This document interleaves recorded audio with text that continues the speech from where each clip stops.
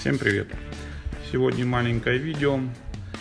Это показать вам механику с приспособлением, с механизмом дополнительным э, на ступеньку, скажем так, перемещения рычага на 50%.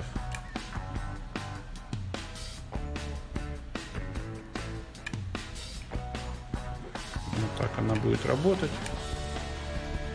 То есть тактильное есть ощущение, когда рычаг в 50% своего перемещения хода.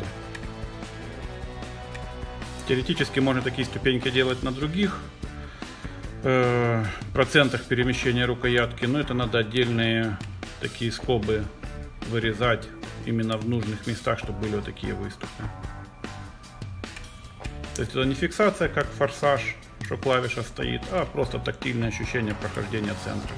Можно его проходить быстро, а можно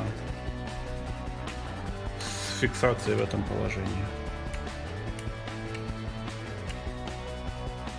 Вот такой сегодня механизм.